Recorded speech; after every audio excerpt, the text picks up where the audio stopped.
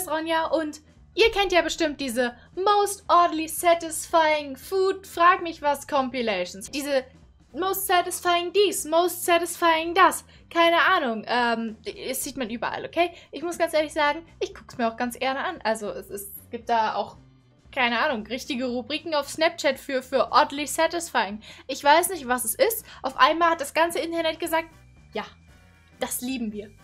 Es ist der größte Trend, den wir jemals sehen wollen. Lass uns uns überall hinpushen. Und jetzt kannst du dem Ganzen einfach nicht mehr aus dem Weg gehen. Es geht nicht mehr. Deswegen gucken wir uns heute Satisfying Food und irgendwas an. Also Most Oddly Satisfying Food, wie auch immer der komplette Titel lautet. Aber ähm, ja, also im Endeffekt ist es Essen. Okay, als erstes haben wir dieses Eis, was in... Achso, das ist ein Keks. Ich dachte, das wäre eine Kartoffel. Okay, ja. Okay, ja. Okay, ja. Okay, ja. Das sieht gut aus. Was ist das? Das ist Macadamia oder was ist das? Vanille? Okay, wir haben pinke Farbe in irgendwas Weißem. Irgendeiner Glasur. Ah, das soll Eis werden? Das soll so Bubble Tea Eis werden, nehme ich mal an. Ich weiß nicht, ob Bubble Tea immer noch ein Ding ist. Das war eine Zeit lang, war das voll die große Sache. Und alle Eltern haben gesagt, oh mein Gott, Kind, trink das nicht. Das ist voll gefährlich. Was ist, wenn du dich verschluckst? Und die Blasen oder Blubbels oder was auch immer das sind, äh, gehen direkt in deine Halsröhre und du erstickst einfach. Das war jedenfalls bei uns die Gefahr. Aber das sieht... Holy moly, sieht das hübsch aus. Okay, ich, ich konnte jetzt nicht gut identifizieren, was es ist, aber es ist einfach ein Rieseneis, was hier gemacht wird. Es ist einfach ein Rieseneis, was hier gemacht wird. What? Holy. Also das ist Milchshake da drunter gewesen. Okay. Okay. Okay, okay, okay. Ich, das könnte ich niemals essen. Das könnte ich niemals, könnte ich das essen. Da wird mir schlecht von werden. Okay, was ich übrigens bemerkt habe, äh, was, was ich faszinierend finde, in diesen oddly satisfying Compilations, äh, wie zum Beispiel hier dieser Bagel da unten, das sind meistens so richtig schrille Farben, so Farben, die Essen normalerweise nicht hat, weil Brot würde ja natürlich braun werden. Das ist einfach, es ist zu weiß, es ist zu bunt. Ich weiß nicht, ich finde persönlich, also, sorry, wenn ich, wenn ich als Einzige so stehe, aber ich finde, das sieht nicht mehr lecker aus. Also ich fände, wenn das jetzt ein normales Burgerbrötchen wäre oder ein normaler bagelfarbener Bagel, dann sähe das sehr viel besser aus. Ich meine, ich bin eh kein äh, Fleischesser, aber ich nehme an, für Fleischesser ist das eine Sache von, oh, lecker. I. Hä? Bäh. Warum, warum würdest du ähm, Zuckerstreusel und, und Marshmallows auf einen Burger haben wollen? Ew. Von wegen oddly satisfying, das ist ekelig. Das wiederum mag ich. Das sind... Oh mein Gott, die sind nice. Sowas kaufe ich mir mal. Ich kaufe mir mal so ein, so ein, so ein, so ein Müsli Spender. Die sind nämlich cool. Das sind diese äh, Bubble-Waffeln, glaube ich, heißen die oder so ähnlich. Ich weiß nicht, ob es die in Deutschland gibt, aber die habe ich schon mal gesehen und die sehen cool aus. Oh mein Gott, bei uns gab es früher, ich weiß nicht, ob ihr die kennt, aber bei uns gab es früher im Urlaub diese Maschinen, oder früher bei Ikea ging das auch, ich weiß nicht, ob das noch geht, wo du dir so dein Softeis selber zapfen konntest und du hast ja irgendwie einmal 50 Cent bezahlt und danach hattest du halt so eine kleine Waffel und konntest das dann so, so viel machen, wie du wolltest. Und mein Bruder und ich haben versucht, das super, super hoch zu stacken. Halt, wer von uns das höher gekriegt hat, hat halt gewonnen. Herzlichen Glückwunsch, Spiele, die Kinder spielen. Und ohne Mist. Ich habe damals gedacht, ich bin so ein Pro im, im, im Waffel-Softeis befüllen, weil meins einmal relativ hoch geworden ist. Aber wahrscheinlich ist es mehr so eine Sache von, ich bin 10 und ich denke mir, das ist echt hoch. Und heute würde ich mir denken, ja, Ronja. Gu gu gut, nice. Tolle Arbeit. Aber die sind cool. Ich mag die voll. Ich wünschte, das gäbe es öfter. Ich mag Soft Eis. Soft Eis ist so lecker. Soft Eis ist leckerer als normales Eis. Meiner Meinung nach. Also im Urlaub habe ich früher immer nur Soft Eis gegessen und kein normales Eis. Außer, also ich meine, es gibt bestimmte Sorten bei normalem Eis, die besser schmecken als die Soft Eis Sorten, aber wenn es nur um sowas Vanilleeis geht zum Beispiel, dann finde ich Soft Eis echt lecker. Oh mein Gott. By the way, sorry, meine Katze heult im Hintergrund rum.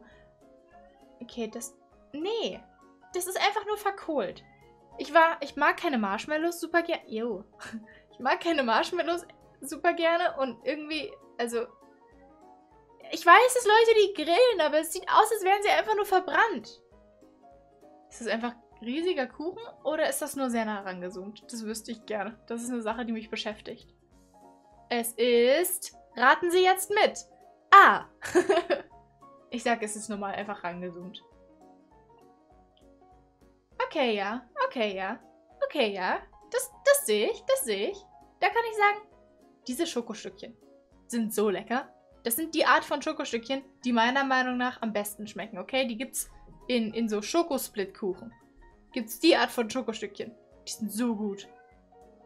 Okay, das wird wieder so eine, so eine Bubble-Waffel, okay? Das, das klappen die gleich zu und dann drehen sie es um. Oder okay, sie zeigen es halt nicht, aber so geht's, okay? Ich habe das schon oft genug gesehen. Das ist nicht meine erste oddly satisfying Food Compilation, okay? Ich bin hier versiert im, äh, im Food-Bereich. Ich weiß nicht genau, was er hier macht. Ich weiß, ich weiß halt nicht. Das Problem ist, es steht meistens nicht dabei, was sie da herstellen. Und du bist meistens auch konfus. Ich meine, das ist irgendeine Art von Eis, nehme ich. Also ist jetzt die einzig logische Erklärung für mich. Aber das finde ich jetzt nicht so. Also das. Nee. Nee. Ist Banane. Ich bin auch großer Feind von Obst in meinem Essen. Also ich mag Obst per se sehr gerne, aber ich mag Obst nicht in meinen Süßigkeiten. Weil wenn ich was Süßes essen will, dann will ich Schokolade. Oder Kekse. Aber kein Obst, weil Obst kann ich ja auch essen, wenn ich Obst essen will. Wisst ihr, was ich meine? Das sieht aus wie dieses Schlumpfeis. Das ist wahrscheinlich irgendeine wilde Eissorte, die bestimmt Leute echt gerne mögen. Aber es sieht aus wie dieses Schlumpfeis. Ich glaube, das eine sind Oreos und das andere sind wahrscheinlich so Karamellsplitter. Ich weiß nicht, wie das schmecken soll. Vielleicht ist es... Was soll denn die hellblaue Farbe? Ihr ruiniert euch alles. Hört auf, Sachen bunt zu färben, okay? Es ist... Ich, ich weiß, Leute lieben das, ja? Alle sind immer so, ja, wir machen regenbogenfarbenen dies und regenbogenfarbenen das. Aber genau, zum Beispiel sowas. Natürliche Farbe des Kuchens, natürliche Farbe der Vanille-Buttercreme, natürliche Farbe der Umrandung. Das sieht lecker aus. Ein bisschen Schokolade drüber. Zack, meinetwegen noch Banane. Banane ist und Erdbeere sind die einzigen Obstsorten, die ich in, in Süßigkeiten oder halt so Desserts akzeptieren kann. Wisst ihr was? Ja, natürliche Farben. Bam, verkauft. Aber die Leute, die ihre Sachen einfach immer Regenbogenfarben färben müssen. Ja, Regenbogenfarben oder knallgrün oder lila oder schwarz. Was soll das? Wer findet denn, das sieht lecker aus? Ich finde nicht, das sieht lecker aus. Ich verstehe das nicht. Das sieht... Okay. Das ist dann halt wieder die Sache, wenn ich mir jetzt aussuchen könnte, würde ich das essen oder würde ich lieber einen richtig schönen Schokokeks essen? Dann würde ich den Schokokeks nehmen. Ich bin Team Schokolade, okay? Das, ist, das wird schon wieder so eine Waffel. Aber das ist okay, weil hier haben sie es nicht übertrieben mit dem Regenbogen. Es sieht noch natürlich aus. Sie haben nur ein paar von diesen Regenbogensplittern reingemacht. Gut, das bunte Eis hätte jetzt nicht sein müssen. Die Zuckersplitter auch nicht unbedingt. Da hätte man dann, ähm, keine Ahnung, Schokolade nehmen können. Nur so eine Idee. Aber, jo, nee, es wird schon wieder zu bunt. Hört auf, das zu bunt zu machen, okay? Ein bisschen bunt ist okay. Natürliches Bunt, wie von der Erdbeere da Meinetwegen. Aber dieses komische Pastellbunt oder Knallbunt. Das, was ist denn das? Nein, kann mir keiner erzählen. Aber wirklich keiner kann mir erzählen, dass er findet, das sieht lecker aus. Das wird jetzt ein Milchshake und ich sag euch, das wird matschbraun. Guck mal, also ich halte jetzt mal hier an. So, jetzt sagt mir bitte, dass dieser Klumpen mit, mit Eis, ja? Also das Eis sieht aus wie, wie Knete von der Farbe, okay? Das ist das Eis, was ich als Kind mit Play-Doh geformt habe. Und diese Klumpen darüber aus zusammengeschweißtem Captain Crunch. Es tut mir leid, aber wer denkt sich denn, hm, das nehme ich? Nö, okay, das ist, das ist tatsächlich. Ich glaube, das ist die erste Sache, von der ich sage, die ist wirklich ordentlich satisfying. Weil bis jetzt bin ich eher wütend geworden, okay? bis jetzt bin ich noch nicht so ordentlich satisfied. Bis jetzt bin ich eher wütend. Auf buntes Essen. Es sieht schön aus. Das sieht wirklich schön aus. Okay, weißt du was? Das ist zwar bunt, aber da, da, das nehme ich. Weil das halt auch viel Eis ist. Es ist eigentlich Wasser.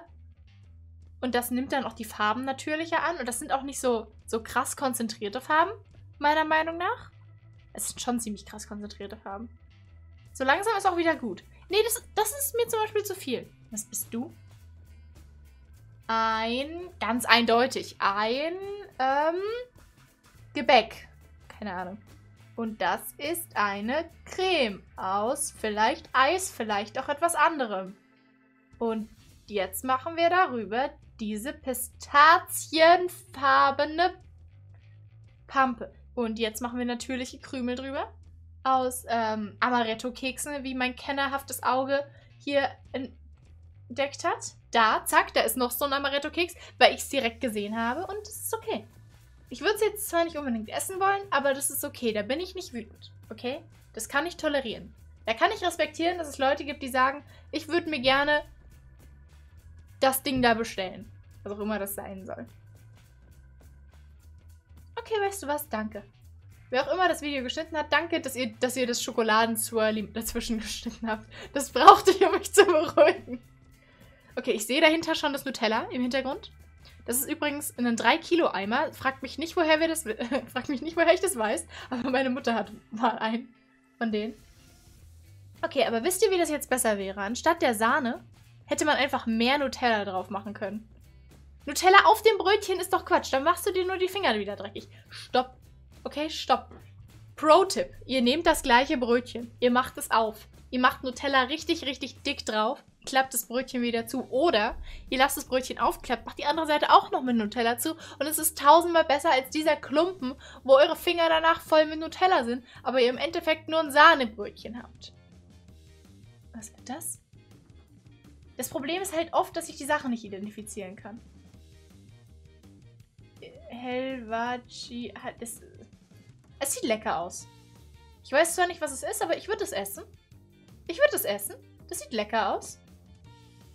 Okay, weißt du was? Nein, da, ich nicht mad. Ich bin nicht mad. Das sieht wirklich gut aus. Das wiederum wird Eis. Das erkennt mein kennerhaftes Auge direkt. Das wird Eis. War Erdbeereis. Oh, guck mal, wir machen sogar frische Erdbeeren rein. Oder ist das nur Erdbeersaft?